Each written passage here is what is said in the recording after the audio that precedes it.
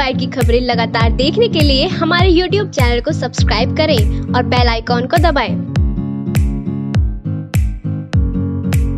इस खबर के प्रायोजक है जैना ज्वेलर्स आबुलेन मेरठ। सिकंदर से सोनू बनकर युवती को फंसाने और विरोध करने पर उसकी ईंट से हत्या करने के आरोपी।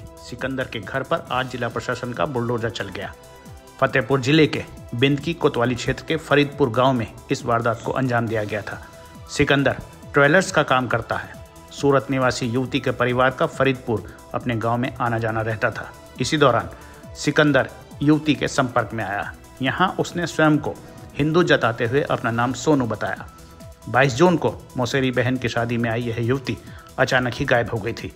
23 जून को पहर मैरिज लॉन से कुछ ही दूरी पर स्थित निर्माणाधीन मकान में वह लहूलुहान स्थिति में बरामद हुई। अस्पताल भेजा गया, जहाँ उसकी मौत हो गई।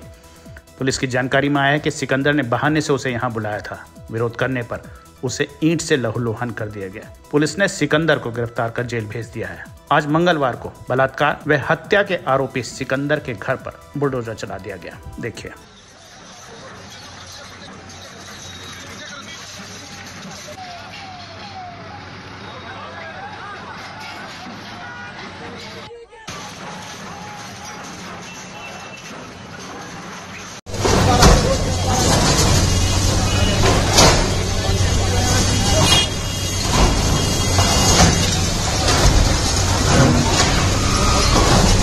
की रात्रि में एक लड़की शादी समारोह में शामिल होने बिंदकी गई थी।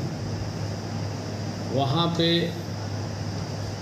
इसके साथ दुष्कर्म की घटना करने के बाद इसे घायल कर दिया गया था,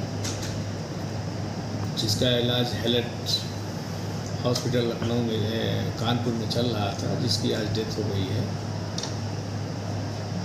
अभियुक्त को तत्काल अरेस्ट कर लिया गया था, उसे जेल भेजा गया था, तीन सौ छिहत्तर आई में।